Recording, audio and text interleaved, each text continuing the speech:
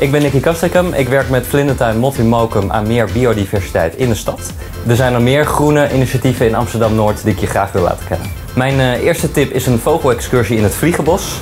Want eh, de bewoners van Noord zijn niet alleen maar mensen, dat zijn ook vogels. En je kan dan met natuurliefhebbers kan je eh, meelopen en gaan zien hoe bruisend dat, dat bos is. Mijn volgende tip is de moestuinschool. Er zijn weinig plekken in de stad waar je eigenlijk midden in de verstedelijking stadslandbouw tegenkomt. Zij doen dat wel. Ze weten heel veel over biodiversiteit en ook over moestuinieren. Het is een leuke blik op eh, hoe we ook met onze openbare ruimte kunnen omgaan. Mijn laatste tip is de Keuvel. Dat is een, eh, een groene pionier hier in Amsterdam-Noord. Ja, daar kan je eigenlijk alles leren over hoe we een natuurinclusieve samenleving kunnen maken met z'n allen. Dus bijvoorbeeld al heb je het over bomen. Misschien willen we wel met z'n allen dat die rechten hebben. Nou, daar kan je alles over vinden en leren bij de Keuvel. Ja, al wil je dus ontdekken hoe groen en duurzaam Amsterdam-Noord is, kom dan bij uitstek op 24 uur Noord naar Noord.